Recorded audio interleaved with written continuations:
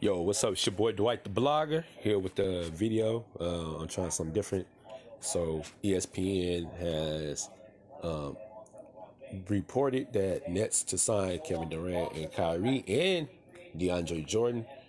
I'm actually shocked at this move, and um, yeah. So there's going to be a big three. Well, not necessarily the next the the, the um, next season, but there is a big three now in Brooklyn Nets, and it's not a super team, man. I, I ain't gonna call this a super team, a super squad. Um, this is an all star, like all star competition right now. All star competition. You got Kevin Durant. You know he prolific. You know playing the three to four, or or the two two three. He could play. Hell, he could play any position. Truthfully, uh, Kyrie at the one and DeAndre Jordan, he definitely plays the five and four pretty good. So, um, yeah, man, this is what's going on uh, around the NBA right now. This is the biggest news out the NBA uh, all season free agency um, edition. Kevin Durant and Kyrie or to the Brooklyn Nets.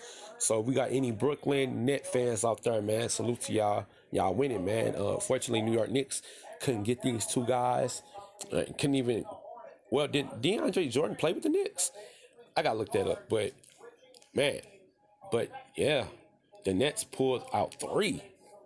That's impressive, man. Like, I mean, they they still young. They're not all washed up like KG, uh, Kevin Garnett, and Paul Pierce, and and um, what's that? What's that? Um, uh, the um, Jet, the Jet Junior, whatever his name was, Terry. Yeah, Jason Jason Terry, yeah, they ain't, you know they ain't washed up like them, but you know we do have an injured KD, so we won't see him in the action in the 2019-2020 season, but guarantee that 2020 and 2021 season is gonna be fire, man. The Nets are going back to the finals.